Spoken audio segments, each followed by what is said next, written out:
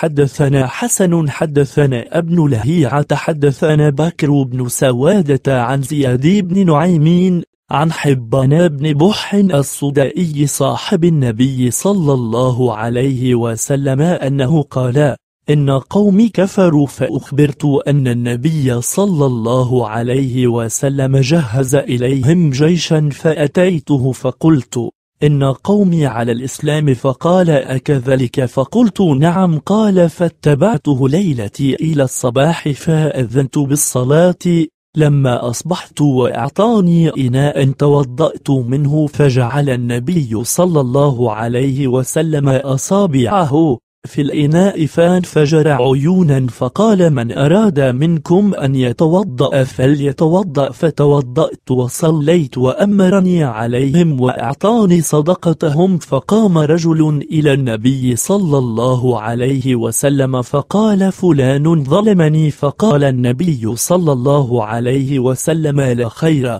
خير في الإمرة لمسلمين ثم جاء رجل يسأل صدقة فقال له رسول الله صلى الله عليه وسلم إن الصدقة صداع في الرأس وحريق في البطن أو داء فأعطيته صحيفتي أو صحيفة إمرتي وصدقتي فقال ما شأنك؟ فقلت كيف أقبلها؟ وقد سمعت منك ما سمعت فقال هو ما سمعت.